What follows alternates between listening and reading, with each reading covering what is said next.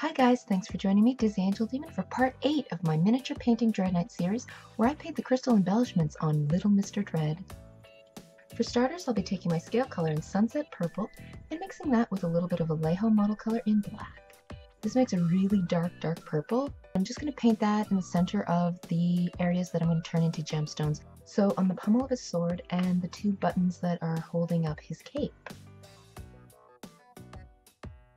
And now I'll take scale color in Sunset Purple, and I'm just going to apply that on the bottom half of the gems.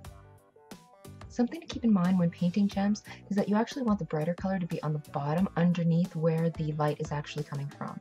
So if your light source is from the top, you want the brighter colors on the bottom. If your light source is coming from the bottom up into the gem, then you want the brighter, lighter colors to be on the top of the gem.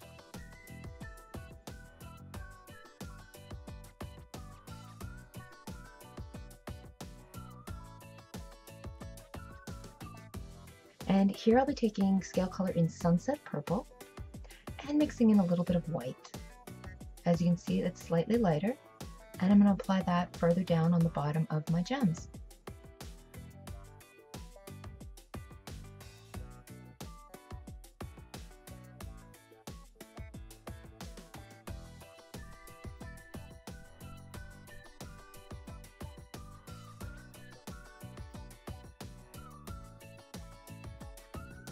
I'm going to add a little bit more white to that color and then I'm going to apply a tiny dot of shine to the top and a little bit more to the bottom of each gem. I don't believe I put a dot on the buttons because they're just so small so I just put a little bit underneath.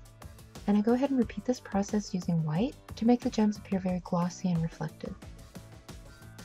The gems are rather tiny and the technique I used is simplified, but I think that the effect is very well suited to the style of our miniature.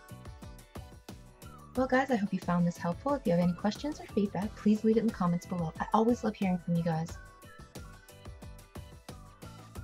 Thanks very much for watching. Have a great day. Bye! Please show your support by hitting the like button, share this video with your friends, and subscribe for all the latest from me, Dizzy Angel Demon.